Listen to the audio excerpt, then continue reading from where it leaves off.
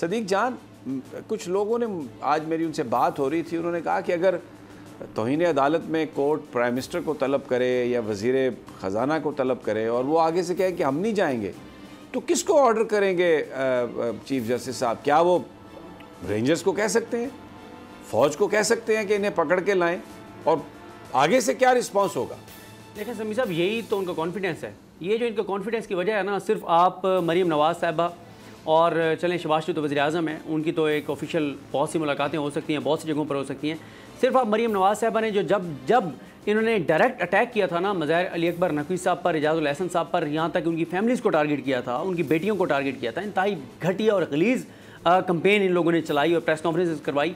जिस दिन मरीम नवाज़ साहबा ने वो इल्ज़ाम लगाए थे ना, और तमाम टी वी चैनल्स पर सिवाय बोल के वो चलवाया गया था समी साहब उससे पिछले तीन दिन की सिर्फ़ अगर मरीम नवाज़ साहबा की वो आपको पता है ना हम जहाँ जहाँ जा रहे होते हैं तो वो गूगल मैप की लोकेशन आ रही होती है कि कौन कहाँ जा रहा है। वो सिर्फ़ पिछले बहत्तर घंटे की आप लोकेशन उनकी निकाल लेना कि वो कहाँ गई हैं। तो फिर आपको पता चल जाएगा कि क्यों इतनी ज़रूरत है। क्यों? ये वो शबाज शरीफ साहब हैं जो अकेले में बैठ के भी कोई इस तरह की बात नहीं करते थे जुडिशरी के बारे में। आज क्या है कि वो डिग्गी में बैठ के जाया करते थे। अब तो सीधा खुल के बैठे हैं। डिग्गी में बैठने के बड़े माहिर हैं। देखें उनको पता है कि एक जगह पे अगर आप डिग्गी में भी चले जाएँगे तो वो आपको इतना ताकतवर कर देगी वो जगह कि आप फिर सुप्रीम कोर्ट को पढ़ जाएँगे। आप फिर सुप्रीम कोर्ट के सामने खड़े हो जाएँगे। आपको फिर कॉन्फिडेंस ही आ जाएगा। देखें समी साहब, आप के साथ रोज़ाना हम सुप्रीम कोर्ट जाते हैं। आपका यही ख्याल था, आपका ये एनालिसिस था, आपका ये तजिया था और मैं इतफाक़ करता था कि चीफ जस्टिस पाकिस्तान उमरता बंदयाल साहब को जो आइन का तकाजा है इलेक्शन की तरफ़ जाना चाहिए। डी ट्रैक नहीं होना चाहिए इधर उधर कंटेम्प्ट और इन चीज़ों में। लेकिन समी साहब, अब हालात जिस नैज पर आ गए हैं मैं आपको बताऊँ, जो लास्ट हेयरिंग है, एक देखें, पाकिस्तान के अंदर परसेप्शन ज़ाहिर है, किसी भी मुल्क के अंदर परसेप्शन मैटर करती है। फैक्ट से ज़्यादा परसेप्शन मैटर करती है। लास्ट जो हेयरिंग हुई है ना, जिसमें सुप्रीम कोर्ट ने कहा कि आप मुजाकर ये सारी चीज़ें, उसके बाद परसेप्शन ये बन गई है कि उमरदा बंदयाल से पीछे हट गए आप और मैं जानते हैं कि वो पीछे नहीं हटे, ना वो पीछे हटेंगे। लेकिन ये जो परसेप्शन है, और फिर इतना बेवकत इन्होंने कर दिया सुप्रीम कोर्ट को, इतना बेतोकीर कर दिया कि जिसकी कोई हैसियत नहीं है, जो यूनियन काउंसिल का इलेक्शन नहीं जीत सकता, वो भी सुप्रीम कोर्ट पे अटैक कर रहा है। तो समी साहब, मेरा ये ख्याल है कि टाइम आ गया है। चीफ जस्टिस पाकिस्तान को अपनी डेट जो है वो आ, वो दिखानी चाहिए। लेकिन मसला क्या है? ये क्या समझ रहे हैं? इनका कॉन्फिडेंस मैं बता देता हूँ। मेरी जब बात होती है नूली के लोगों से मैं कहता हूँ कि यार ये आप इस हद तक चले गए वो कहते हैं देखें मसला ये है कि जितने भी स्टेक होल्डर्स हैं उन सब के इस वक्त ज़ाती सर्वाइवल का मसला है इमरान खान के मुकाबले में। इसलिए वो सब एक पेज पर हैं सब मुतहद हैं। सिर्फ़ बंदयाल साहब क्या कर लेंगे? बंदयाल साहब को इदारे के अंदर से कमज़ोर कर दिया। इलेक्शन कमीशन कह रहे हैं सुप्रीम कोर्ट को कि आप हुक्म दे भी दें। हम इलेक्शन नहीं करवाएँगे, आपने जो हमारा करना है कर लें। हुकूमत कह रही है, आपने जो हमारा करना है कर लें। उधर से कहा जाता है कि सिक्योरिटी जो है जो है वो नहीं दी जा सकती।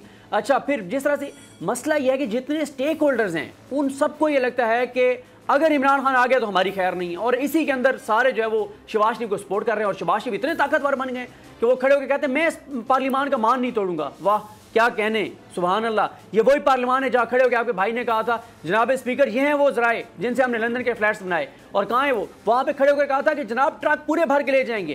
कहाँ है वो सबूतों के ट्रक? समी साहब, मसला ये है कि आम आदमी की आवाज़ कोई नहीं सुन रहा। मैं अभी ये, अभी समी साहब, आज कोई पाँच से छः बजे के दौरान मैं मार्केट गया। वहाँ एक बड़े ईमानदार ब्यूरोक्रेट से मुलाकात हुई। उसके अल्फाज ये थे कि आज मैं पछताता हूँ कि जब मुझे मौका मिला था इस पाकिस्तान के अलावा एक मुल्क की नेशनलिटी का तो मैंने वो नेशनलिटी नहीं ली थी मैं आज पछताता हूँ।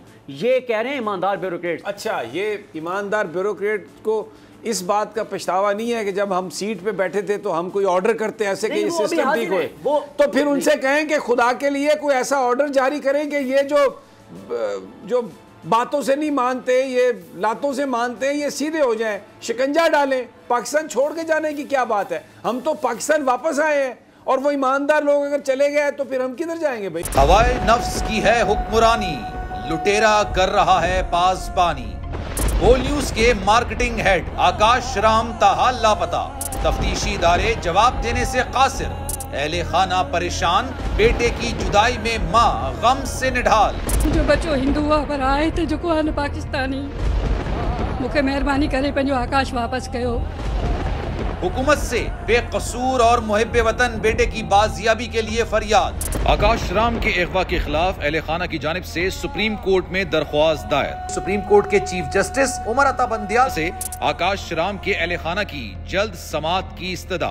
मुश्किल की इस घड़ी में आलमी मीडिया ने भी उठाई आवाज़। सी एन एन आज तक इंडिया टुडे टाइम्स नाउ समेत आलमी मीडिया ने आकाश राम के अगवा के खिलाफ दिया बोल का साथ। उफ क्या जुल्म है। बोल इंसाफ का मुंतजर। सब्सक्राइब करें और बेल दबाएँ ताकि कोई खबर रह न जाए।